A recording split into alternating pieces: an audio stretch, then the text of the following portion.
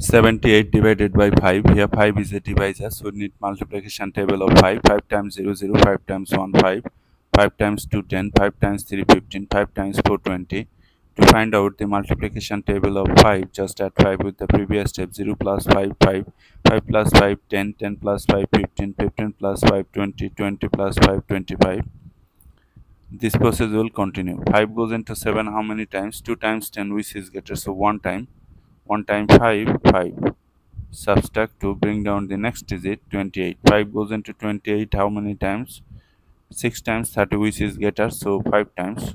5 times 5 25 to subtract you are getting